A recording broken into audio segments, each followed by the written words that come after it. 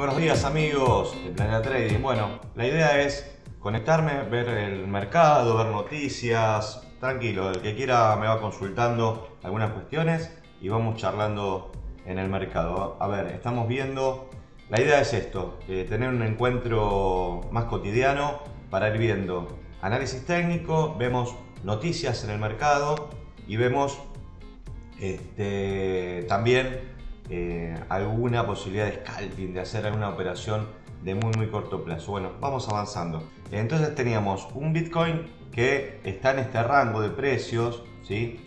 Eh, lo venimos siguiendo hace rato.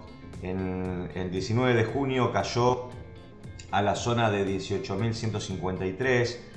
Tuvo una linda recuperación. ¿eh? pudimos recuperar un 37% y de acá, bueno, en cuatro días empezó a bajar.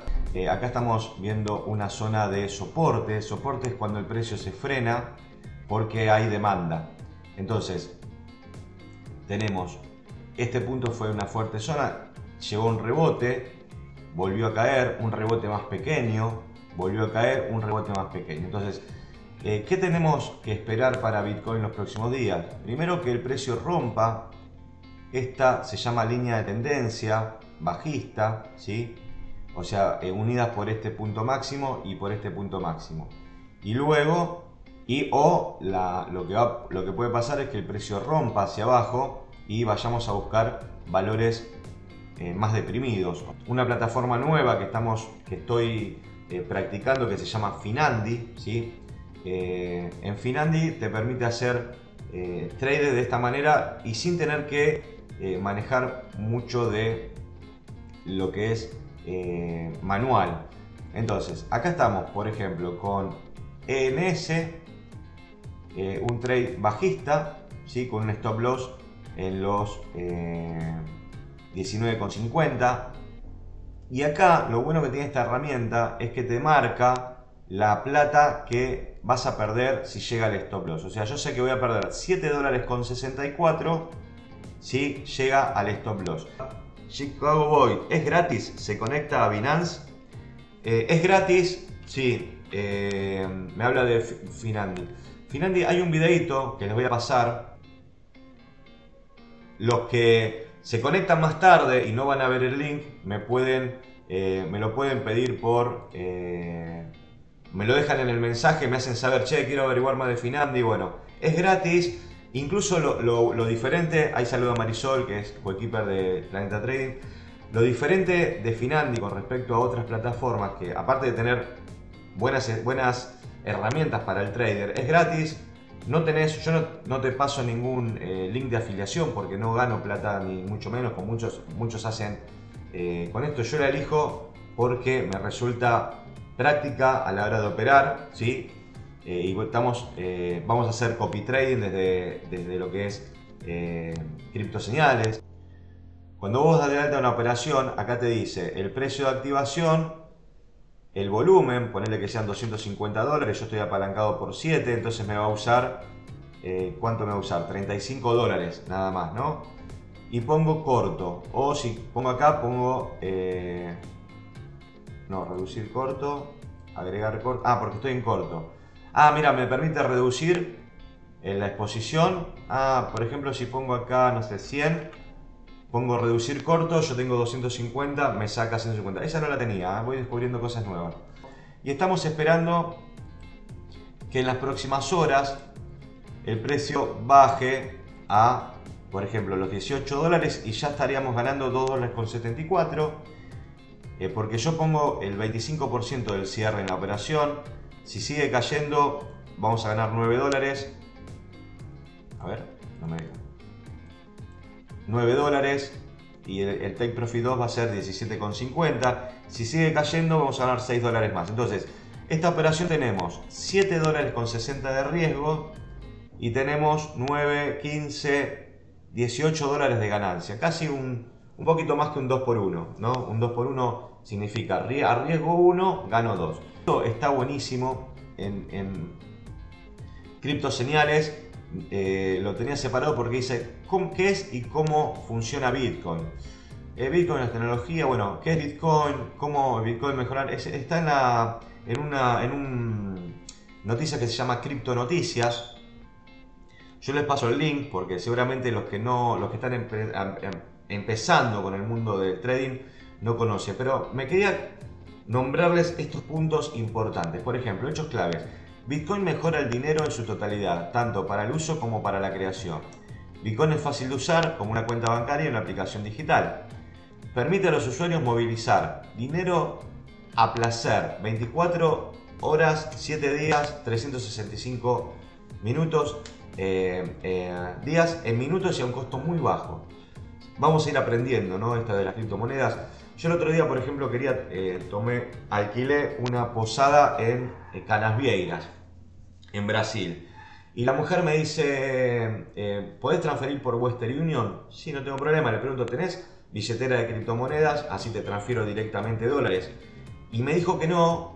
Hay otros que sí tenían criptomonedas para recibir, pero es nada, es nada de todo lo que averigué. Habré averiguado más de 50 posadas con mi mujer y no había uno solo me aceptaba criptomoneda, eh, criptomonedas. Entonces, ¿Qué pasa? Lo, transferí por Western Union, tenés que ir a un lugar, eh, lo puedes hacer hoy por hoy por internet, pero si no tenés que depender de una sucursal, que está bueno, transferís, pero te cobran un 5% de lo que estás transfiriendo. Entonces, toda la gente que vive en Argentina, que es de Paraguay, de Bolivia, de España, de cualquier país que tiene que transferir a sus, a sus familiares dinero o recibir dinero, se le hace engorroso porque necesita de una sucursal, necesita de un tercero, eh, que eh, allá la persona va a tener que ir a una sucursal a retirar el efectivo. Lo bueno es que te manejas con efectivo, ¿no? no digo que es malo, es un servicio, pero las criptomonedas vienen a reemplazar esto,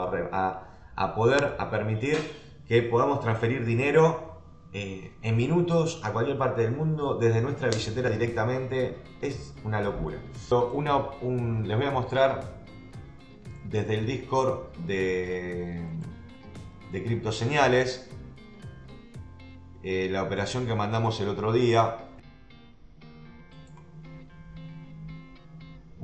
Esta es la operación que mandamos en criptoseñales que tiene que ver con la entrada era los eh, pero el piso el stop era 0.14,90 el precio yo entraba si rompía esta zona de máximos anteriores fíjense y acá estamos en 0.158 acá entramos en el precio y el precio lo teníamos como objetivo llegar a los 17,50. Bueno, esto se logró, ¿sí? voy a ver donde nosotros hacemos ideas de trading y seguimientos de posiciones. En seguimientos de posiciones, esta es good, acá está. Fíjense cómo llegamos. El precio, bueno, rompió la zona de 0.15, hizo un impulso hasta los 16, se tomó algo de ganancia parcial, cayó, hizo un retesteo de esta zona de resistencia y salió el alza cumpliendo el objetivo. Entonces este trade fue logrado pero perfecto, perfecto. El stop, una vez que el precio superó, lo, subimos vos podés subir el stop para cortar las pérdidas, ¿sí? Entonces hay que estar vigente con los trades, hay que saber cuándo subir el stop, ¿sí? Vos tenés un stop inicial. El stop inicial tenés que calcular lo que se llama pérdida máxima por operación. Por ejemplo, yo quiero tener una pérdida máxima por operación de 10 dólares. Listo. Marco el stop, 10 dólares y digo, bueno, yo puedo entrar al mercado con 200, 300, lo que me marque el stop.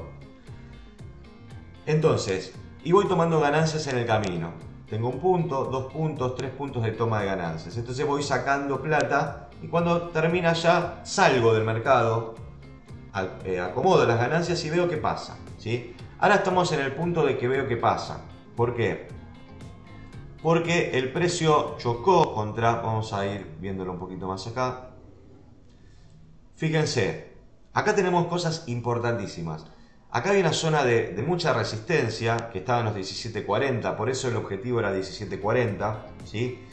Eh, fíjense, el precio resistió ahí, el precio resistió acá. Ahora me va a decir, Checho, con Bull vas a hacer trading. Si no hay, no hay moneda, tenemos que sacarnos el chip de que uno tiene que elegir o, ser Bitcoin o ser Ethereum, no, cualquier moneda.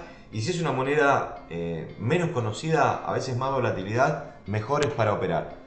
Entonces tenemos, fíjense, esta zona importante de liquidez pero no me doy cuenta ni por volumen ni por nada. Me doy cuenta viendo el gráfico, dónde el precio resiste. Resistió en los 17.14, cayó, 17.14 cayó, y ahora está resistiendo en la misma zona. Entonces, hay que ver si lo supera o si cae. Si vemos un poquito más en profundidad, vamos a ver que acá hay, creo que hay un dibujo que se llama taza con asa. ¿Lo escucharon? Diga, pónganme ahí en el comentario si escucharon la formación taza con asa. Para eso tenemos acá, no. Eh, yo agarro lo que dice eh, la curva, ¿sí? marco desde este punto hasta este punto y bajo. Acá tenemos el asa, ¿eh? el asa. Y acá tenemos lo que se llama la tasa. Son... Bien, entonces, es muy probable que si el precio rompe, rompe esta zona, nos vayamos a ubicar más arriba. Y acá arriba, ¿y a dónde podemos poner el objetivo? Acá tenemos una flecha. Para marcar un objetivo tenemos que marcar el punto básico o de la base y el punto donde está haciendo la resistencia. Si marcamos esto tenemos casi un 34% de suba. Entonces, si el precio rompe acá o cuando rompa, nos puede dar un 34% de suba. Esperen que para hacerlo perfecto tengo que hacer, eh, vamos a clonar esta flecha y la vamos a poner acá arriba. El primer, el primer objetivo fue cumplido. Vamos a clonar. Entonces, fíjense que donde nos da el punto de la flecha, o sea, supera el máximo, nos da el punto de la flecha, corresponde con una zona de resistencia, ¿sí? De resistencia, que si supera esta zona, ya quedaría más liberado el mercado. Eh, otra cosa que estoy viendo es una línea de tendencia de estas características. Entonces, tenemos precio no puede superar, baja un montón, no puede superar, baja. Pero ¿qué pasa? No baja más del mínimo anterior. ¿sí? Entonces no está haciendo nuevos mínimos. Son todos conceptos que, vamos, que yo les estoy transfiriendo un poco desordenados, pero eh, tienen que ver con esto mínimos anteriores, las tendencias, acuérdense, son eh, los mínimos son, eh, por ejemplo, este mínimo supera el mínimo anterior, este mínimo supera el mínimo anterior, los máximos no superan al máximo anterior. Entonces, ¿qué estamos viendo? Que el máximo está superando al anterior. Si el precio supera acá al máximo anterior, entonces estamos haciendo movimientos ascendentes que cambia la tendencia. Por ahora vemos que el precio reculó por acá. Tenemos que tener una alternativa de que si el precio rompe esta zona, no, puede ir a buscar el mínimo anterior en los 0,99, por eso es importante manejarse con un stop, pero tenemos, suponete un 70% de probabilidades que el precio haga este movimiento, rompa y en las próximas horas se vaya a los 23 y podamos estar obteniendo un 34% de beneficio, ¿sí? Entonces, bueno, esas son las probabilidades para U, vamos a dejar ahí la alarma, para ver cómo nos va.